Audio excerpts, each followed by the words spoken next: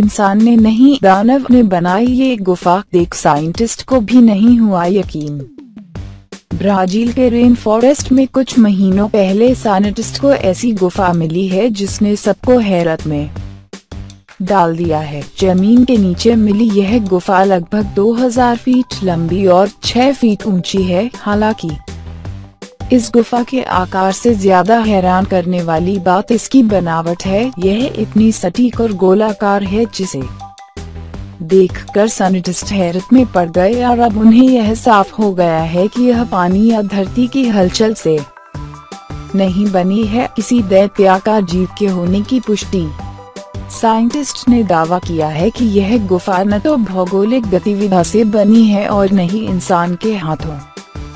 बल्कि किसी दैत्याकार जीव ने इसे अंजाम दिया है। आखिर कौन सा था यह जीव? गुफा की दीवारों पर ऐसे निशान मिले हैं जो सिद्ध करते हैं कि ये किसी विलुप्त हो चुके किसी दैत्याकार जीव के पंजों से बनी है। साइंटिस्ट के मुताबिक इतने विशाल जीव को दानव कहना भी गलत नहीं होगा। जो करीब 9000 साल पहले रहे होंगे, हालाँकि साइंटिस्ट के लिए सबसे बड़ा सवाल इस जानवर की पहचान को लेकर बन गया है।